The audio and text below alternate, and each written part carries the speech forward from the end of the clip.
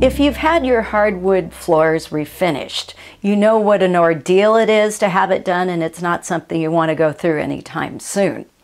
One way to keep your floors in good condition is to put some felt pads onto every leg of furniture that's in touch with that hardwood surface so that you can prevent scratching.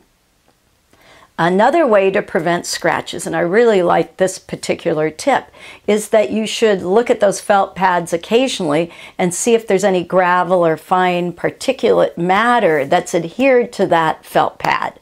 What you do is you take some fine sandpaper and rub the felt pads to remove all that fine particulate matter so there won't be any scratches. If you have any friends come over in their high heels, you might want to ask them to leave their shoes by the door because uh, those indentations can be permanent. And when it comes to cleaning your hardwood floors, you want to avoid any product that might leave uh, some kind of residue behind. Personally, I like the Bona Hardwood Floor Cleaner. I'm Chris Bjorklund, the Savvy Consumer for Diamond Certified.